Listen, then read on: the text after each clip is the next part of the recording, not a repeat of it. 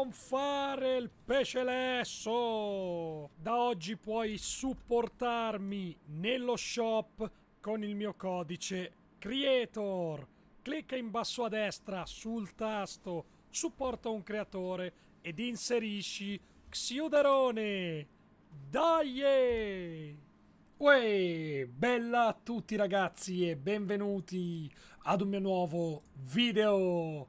Io sono Xuder e ragazzi, un sacco di novità interessantissime, importantissime per quello che riguarda il futuro di Fortnite. E non sto parlando di un futuro così tanto lontano in quanto mi riferisco ovviamente alla patch 11.50 quella che sta per arrivare ma non solo ragazzi è appena stata resa nota la notizia che ci sarà una skin completamente gratuita che si potrà riscattare in un modo molto molto particolare ma anche molto interessante e ovviamente una bella sbadilata di leaks per tenervi aggiornati sempre sul dietro le quinte di Fortnite.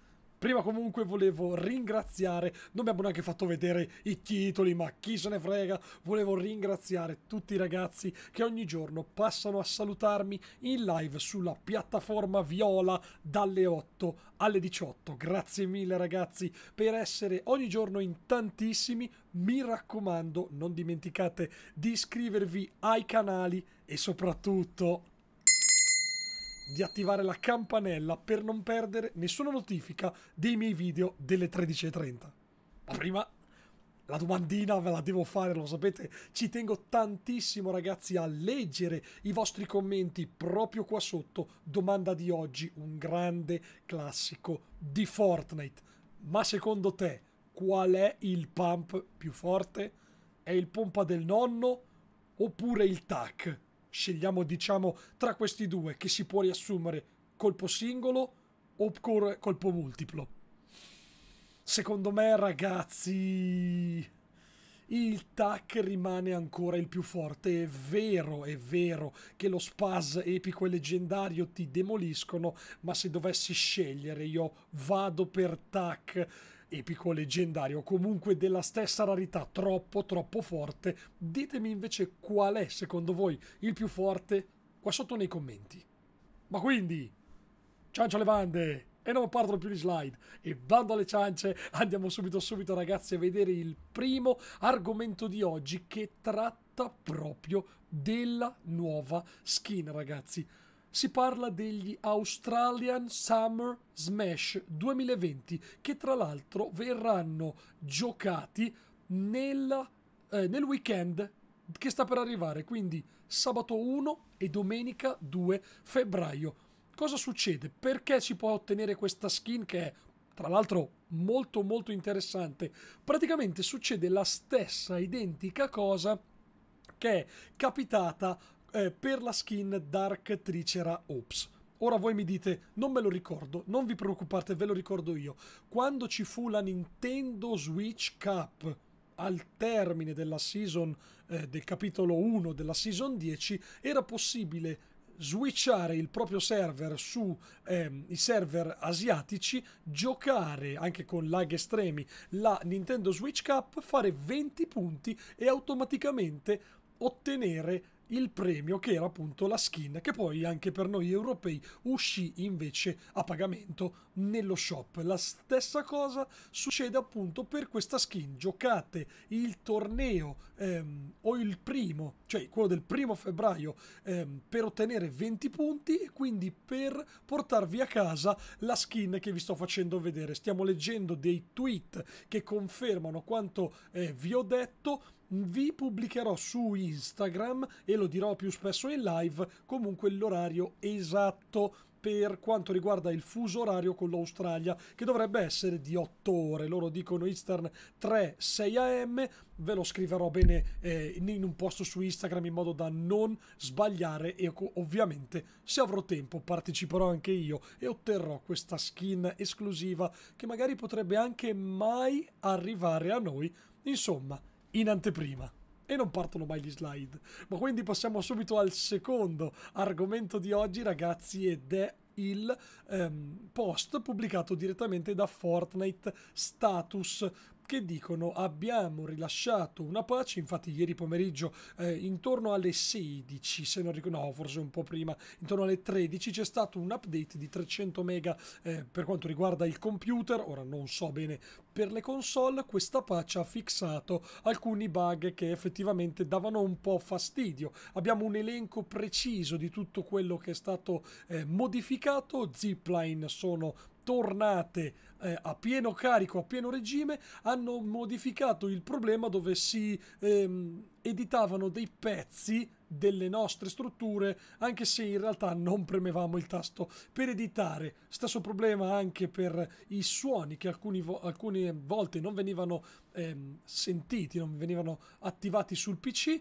problemi anche per quanto riguarda la quick bar che a volte invece si eh, attivava su diverse piattaforme quindi sistemato anche quello. Eh, problema anche per quanto vi riguarda nella challenge delle fermate degli autobus una delle ultime challenge. Non tutte le fermate venivano conteggiate adesso invece sono conteggiate tutte. Problemi anche per quello che era il tasto F che non ehm, riusciva ad essere attribuito appunto a quello a cui viene assegnato. Quindi in poche parole sistemati anche questi bug che sicuramente sono eh, nient'altro che un preambolo per quello che riguarda la vera e propria patch in arrivo prestissimo. E andiamo avanti con il prossimo argomento di oggi, alcuni hanno notato che per quanto riguarda la skin del Super Bowl è stato aggiunto uno stile nuovo. Voglio però farvelo vedere direttamente in un video perché oltre al nuovo stile c'è anche la, il nuovo ballo. Guardate ragazzi che roba che hanno messo. Ecco qua. Come vedete questo è lo stile dei San Francisco 49ers, quindi nuova squadra che si aggiunge alle molteplici, eh, ai molteplici outfit che possiamo selezionare per i nostri giocatori di rugby e bellissimo anche queste emote free mix, non si capisce bene se sia poi ottenibile gratuitamente o in, semplicemente nello shop, ma sicuramente un dato di nota che eh, ci fa impreziosire il nostro armadietto molto molto divertente va un pochettino a simulare l'esultanza di quando si fa un touchdown. E arriviamo all'ultimo argomento di oggi, anzi al penultimo ragazzi. Eh, ufficialmente si scopre che sono pronti quelli di Epic Games con la patch 12.00. La patch 12.0 ovviamente sta ad indicare la season 12 cronologicamente parlando perché hanno inserito con l'update di oggi alcune stringhe di codice che come vedete vanno a riprendere proprio il numero quanto citato sopra, la version 12.00. Sappiamo che settimana prossima arriverà la patch 11.50, ehm, non sarà l'ultima, probabilmente arriverà poi anche la 11.60 e poi si passerà direttamente alla 12 perché il 20 febbraio la season terminerà e si spera di non incappare in un altro buco nero ma di switchare direttamente al capitolo 2 tra l'altro per tutti quelli che si fanno delle domande, intanto stanno passando a schermo dei test che hanno inserito